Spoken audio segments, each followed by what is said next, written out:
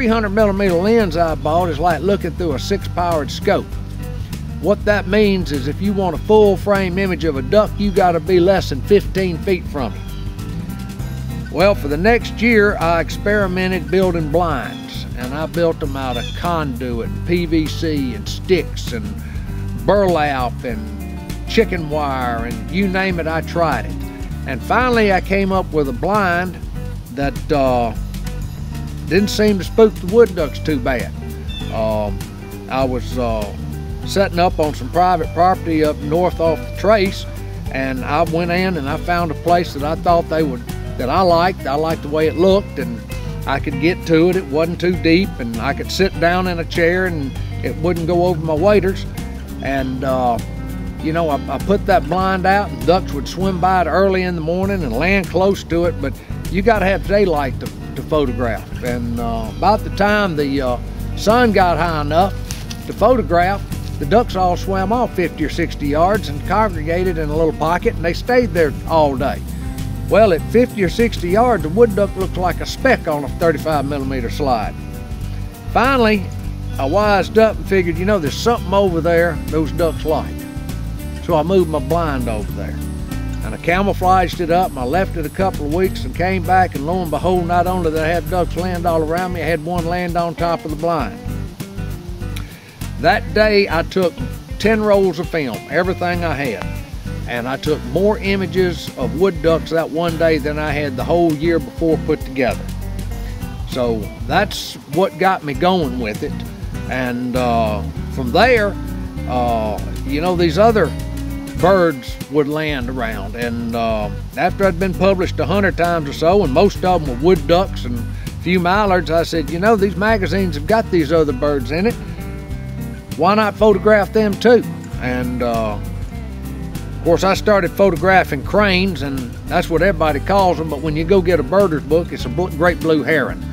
And uh, I ended up with probably six bird ID books upstairs and started fooling with photographing little blue herons and great egrets and snipe and uh, ibis and anything else that would come close to me.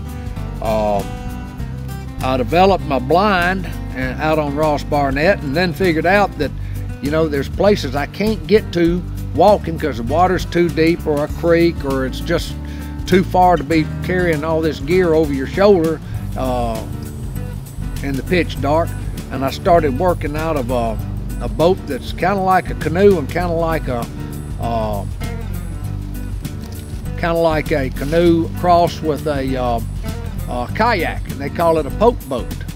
And I got camouflaging up in it and paddling out where I wanted to go and playing a waiting game, and that worked pretty good.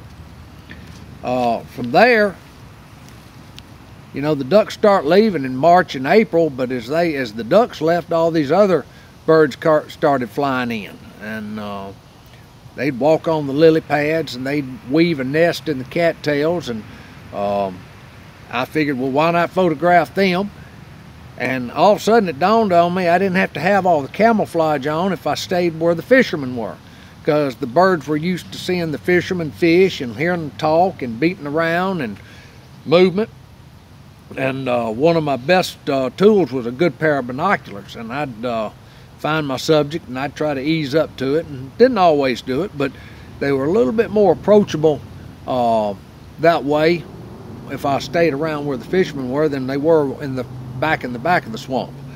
Um, and I started photographing purple gallinules and moorhens and least bitterns and uh, uh, night herons and that type of stuff. And course, when you're playing in the swamp, you end up with uh, nutria rats and frogs and turtles and snakes and alligators and um, occasional raccoon. Back in 1993, my mama in Oxford, Mississippi asked me if I'd come do a slideshow to the Oxford, Mississippi Garden Club.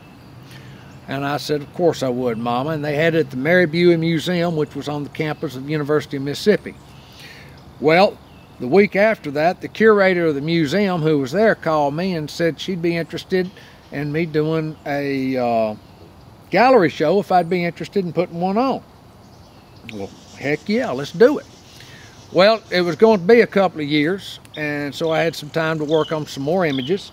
and uh, I put it together, and uh, I got to thinking, well, if I've got this gallery showing, I might as well see where else I can I can let it hang. So I do 10 or 12, 13 of these shows every year. Uh, and I found it's the best way to promote my photography because people can actually see it and feel it rather than looking at it on a magazine page or an ad and they, they can see the print and see this is what I'll get once I buy it and get it matted and framed and this is how it'll look.